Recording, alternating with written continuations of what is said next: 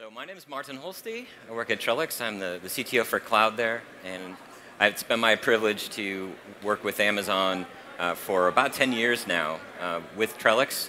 Uh, for those of you that don't know, uh, Trellix is the combination of McAfee and FireEye come together to create a new company, and it's been really exciting to see all the, the new things that we're adding on top of uh, the other technologies that we brought together. Uh, we do a lot of different things. We do endpoint, we do email, uh, but what I'm going to show you today is what happens when you put all of that together in the same place. So for a long time, we've been talking about defense in depth, email, network, endpoint. You still need all that stuff. You wouldn't want to remove uh, any of those things, right? Uh, but what we're finding is that business goes far beyond those things. So we have to include a lot of others, like Office, backup, mainframe, which we'll show in a little bit, uh, identity storage, vul uh, vulnerability management, and of course, cloud. And so I call this defense in breadth. We, have to look much wider in addition to the depth. So all this comes together in what, what I call a security factory. So you take cloud events, you put them in, you take SaaS events, you take the asset info for, for those, you put them all together in a factory, and out comes magic. Uh, so what do the rainbows and unicorns here actually mean? Uh, we, we are able to put all these together to get the context of what happens. And we'll dive into exactly what this looks like. So it's not just magic fluff. You're going to see uh, what we, we use. And at the end, we're going to go through exactly how we use AI to add assessments. And I think this is a very different story than you're going to hear throughout the rest of the expo on AI. Uh, this is not a chat bot. We're going to show you how analysts can actually use this stuff. So how do we get all this data? This talks about data gravity. And one of the most important things that the Security Lake announcement uh, has meant uh, with going GA this last week is that we now can get all of our data into the same place. Uh, so we have a great way to do that with a ton of different cloud connectors, uh, lots and lots of SaaS, but we also bring in all the Amazon data as well. Uh, we're one of very few that do both a source and subscriber integration with uh, Amazon Security Lake. So we have direct access to all the data that we need to tell these stories, uh, specifically on Amazon. And this is what it looks like when you get it right. You have all the data you need from anywhere. So basically any SaaS you can think of, you can put it together with our native data that comes through something like endpoint or EDR. You can put that together with all the data that's in Security Lake. And now you have all the data you need to tell that story, and you get that bi-directional feed from Security Lake in and out so that you can learn from that. Getting started is really easy. It takes, generally, if you have access to an, the, the API to generate an API key, you can set up an integration in 30 seconds. Uh, you click on which one you want, and then you drop in uh, the API key, and you're done. Uh, it's even easier with a lot of the cloud infrastructure we have now. It's two clicks to get Security Lake integrated. Uh, this has been a, a, really big deal. And so what can we start to do with all this? Well, you can start to build trust around identities. Uh, so we'll, we take all the events in, and from all those events, we're able to extract usernames and hosts and start tracking them from that perspective. Uh, we're also able to hook directly into uh, things like Active Directory or other directories that you might have and pull those out. And what we could do with that is uh, find VIPs. And so we'll show exactly what that looks like here. Uh, we also integrate uh, really well with our partner Okta. So anytime you're bringing that information in. You can do interesting things like find unknown users that are resetting passwords. How often do they do that? And we can start to see patterns that occur there. And when you have all the information, so you have Okta plus directory plus uh, network information, you start to get this telemetry that shows, uh, much like a ship at sea is able to see from a lighthouse and some other landmarks really, truly where their, their, their, position is, they don't have to guess what's actually happening because they have multiple sources of information around the same event. And that's a big deal. So from Okta, for example, uh, if, some, if an unauthorized user is able to steal a token through something like MFA fatigue or something like that, uh, we could track through all the things that are happening, and this becomes really important. And it's not just Okta. We're able to tell the complete story when you have all the data in one place.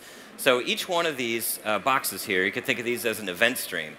And so if you think of the top of that as like 6 a.m. and the bottom is 6 p.m., this is timeline in a day. And each one of these categories has a, a story to tell. And the, the job of an analyst is to figure out what this looks like across this timeline and across all these different data points. And so you start to get this constellation that's tied together through usernames, through email addresses, and you're able to trace what has occurred essentially at the same time uh, same point in time, but across all these different viewpoints.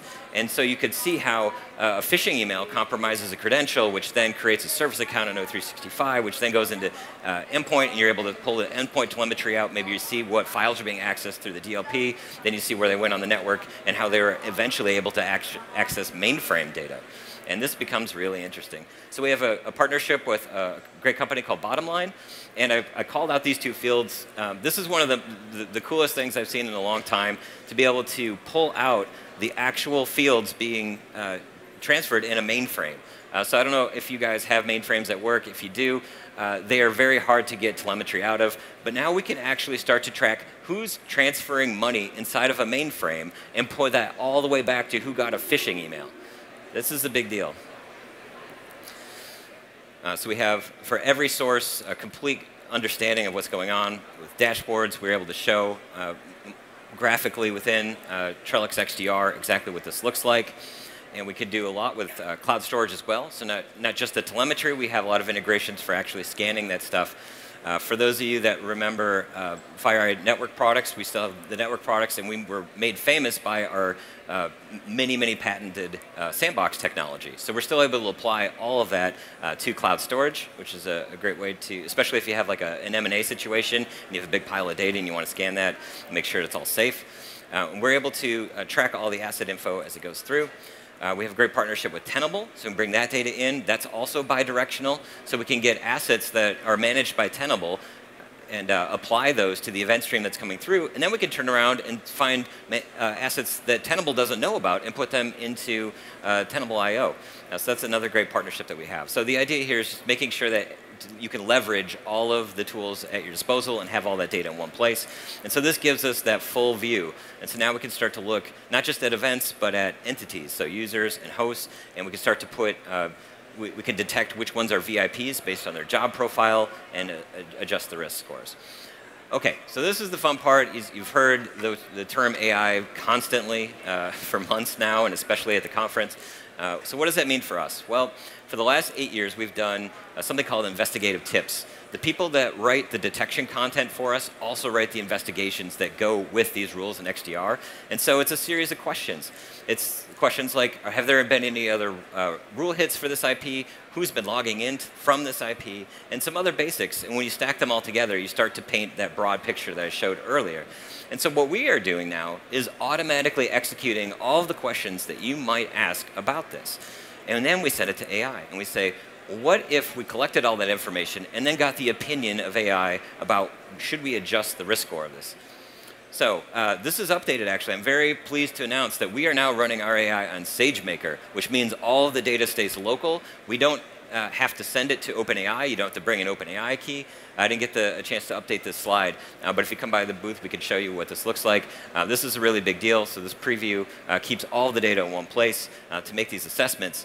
Uh, but essentially, we're taking all that centralized data, putting it together, asking the right questions, and then finally asking the opinion of AI, saying, okay, so this rule said this, we were able to tell this story with the data. Do you think that the rule should be uh, higher or lower on the risk score? And the reason that this is so important is that those low-level alerts are the ones that you really need to find. The critical ones you're already going to see, but it's the low-level alerts uh, that are the ones that often go missing, and this is a way to find that. So what does this look like in there? Uh, we are able to use the AI to say, does, the does the evidence that we have uh, support or reject this rule? And if so, we're able to find that low-level alert and raise it. Uh, so for those of you that remember the SolarWinds attack, uh, we were able to find that uh, using a, a, very good uh, security operations center that had a, uh, the expertise to find that low-level alert that everybody else was missing. And they said, yeah, this one we need to pay attention to. And we were lucky because we had such talented folks. But this allows uh, you to, to scour for all of those low-level alerts. And even if you're not the, you know, a complete rock star analyst, uh, you're able to uh, find that stuff that you would have otherwise missed because it was marked as low. So for each thing that comes through, we're able to either support or reject it. And then just for fun, um, I, I worked in a SOC for, I ran a SOC for most of a decade. For any of you that uh, have worked in a SOC, you know that sometimes it can be a bit of a grind. So for fun, uh, we also add which Star Wars villain best represents this alert? And uh, this has been a, a, really popular feature that we added. Uh, so the severity rating of six, turns out the AI chooses Darth Maul for that because just enough to cause concern, um, but not that, that big a threat. Uh, we've seen uh, many different ones. And we're able to also uh, get remediation act actions out of this. So uh, we can get Sigma rules and things like that. we have a full security orchestration that works with this. Uh, so as, as things come through, we're able to uh, use that complete data story to figure out, okay, how bad is this thing? And even in some simple cases, uh, just based on that risk date. And so this is that story that now we can multiply with that AI. So the story is good to start with, but now we have uh, the AI that can tell, oh yeah, this was a, a very high risk asset as well. So that now that goes into the, the decision that it's making. Now this is not going to take an automatic action, we're not in the position where we want to start disabling hosts based on what AI says. I don't, I don't think that's safe to do right now. However, it is very helpful to get its opinion on things because otherwise you would have missed it. And so being able to collect all that information, tell the whole story, and then get that, uh, suddenly you have a new risk score, uh, severity rating of 8, and it's Darth Vader, and maybe it came in as a Jar Jar Binks. Uh, and this, as I, mentioned earlier with the phishing, this is what this looks like when you're able to tie it all together. You're able to uh, quickly scope the incident because you have uh, the complete list of all the emails that have come through, and then you're able to tie that together with all the actions that happened in Office, and then able to uh, get that quick score from AI. So something that might reject that is if you had logins from a trusted IP that says, well, this doesn't really support the scenario that we just saw, so we're going to lower the risk rating on this. Or but because we had three supporting uh, bits of evidence, we're going to raise the risk score. In this case, uh, we had three in, in, favor of supporting and one in favor of rejecting, so the AI says this should be severity rating of 10. This is an Emperor Palpatine. Uh, this is the, the worst case scenario. All right, thank you. And uh, are there any questions from the audience?